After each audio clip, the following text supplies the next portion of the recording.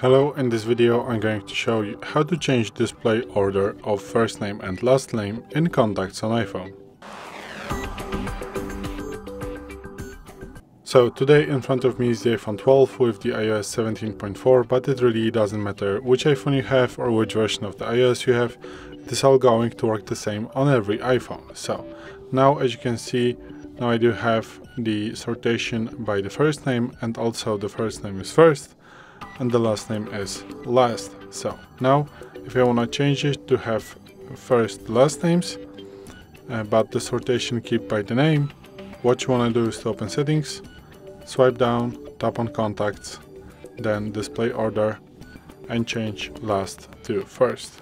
So now if I'm going to open contacts, as you can see now I do have the last name first and display order and uh, I have still the sortation by the first name because sort order is first last and display order is last first.